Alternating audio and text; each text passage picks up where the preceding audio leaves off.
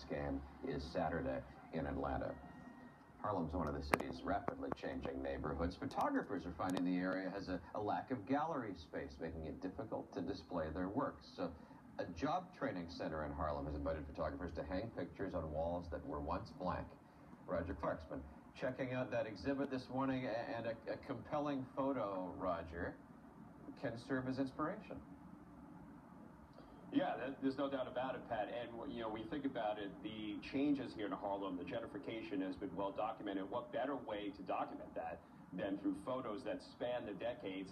And indeed, this is a perfect way to start an art series that chronicles the enormous change here in this community.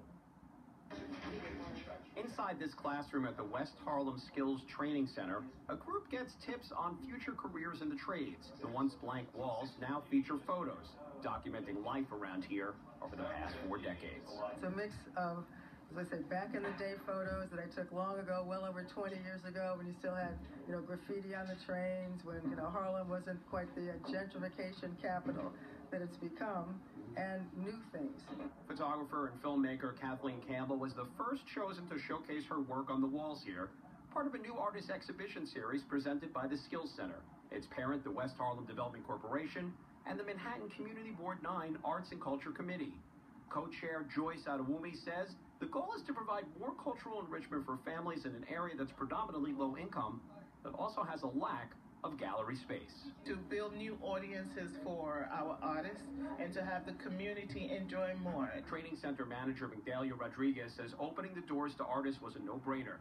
The center is one of the programs instituted by the Development Corporation as part of the community's agreement with Columbia University which is undergoing a major expansion in the neighborhood. She says covering the walls with art elevates the space for folks hoping to elevate their lives during a time of upheaval in their neighborhood. You can't be can come in here and have an attitude in the morning and feel bad. When you see the art, it kind of makes you feel good. Everyone here agrees Kathleen Campbell's photos were a perfect way to kick off this series.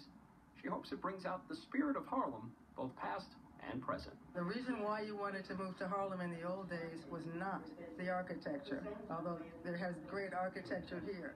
The reason why you wanted to move to Harlem then, and I would argue now, is because of the people. That's right, Pat. And you know, when I look at these photos and I see the trains and all the graffiti, I can't help but be a little nostalgic about it. I remember being a little kid in the 70s and 80s, and my grandpa would take me on train rides because I love trains and they would just be covered with graffiti.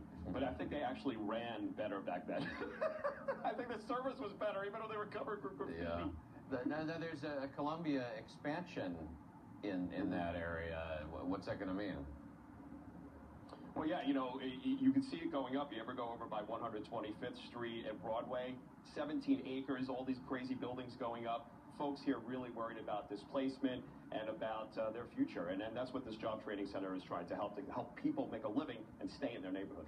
657 when we come back on Mornings on One. A big win for accessibility advocates in court. A judge says the MTA must install elevators when major station renovations are done.